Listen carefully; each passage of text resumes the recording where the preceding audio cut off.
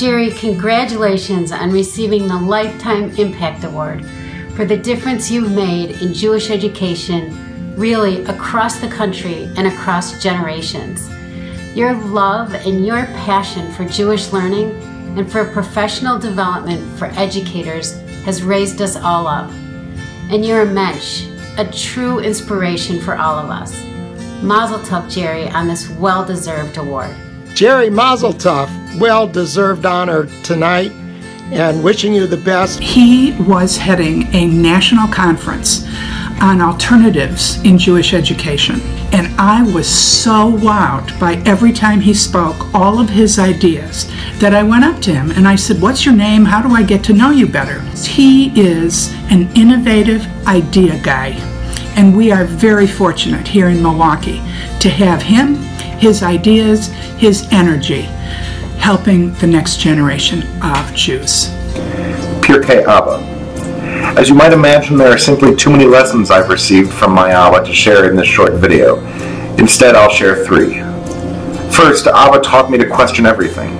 I'm pretty sure that anti-establishmentarianism was my first word. My second word was why. Abba taught me that people have innumerable value.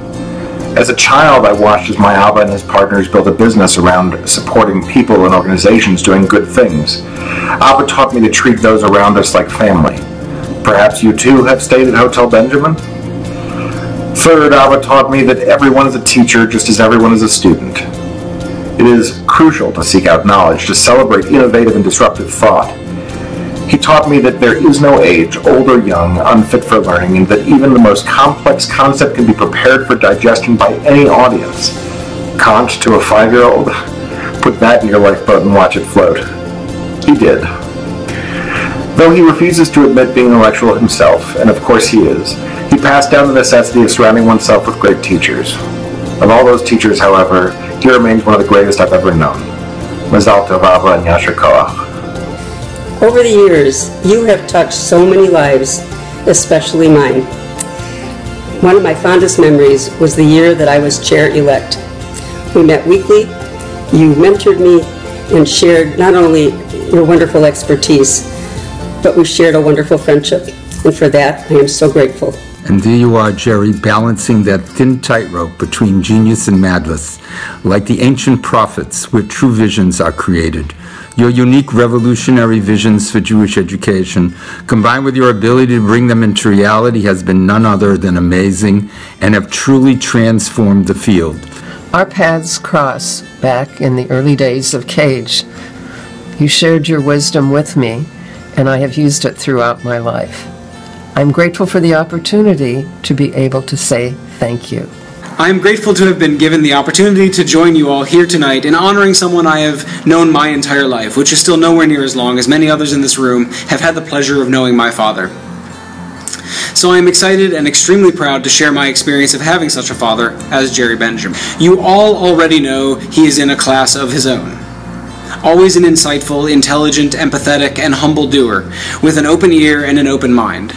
Throughout my life, I have been fortunate to receive the gift of guidance from a man possessing not only an incredible mind, but one might gather a shocking level of patience for the machinations of a stubborn learner such as myself, but moreover, from someone with a heart that knows no bounds when it comes to understanding and appreciating the experiences of others outside himself.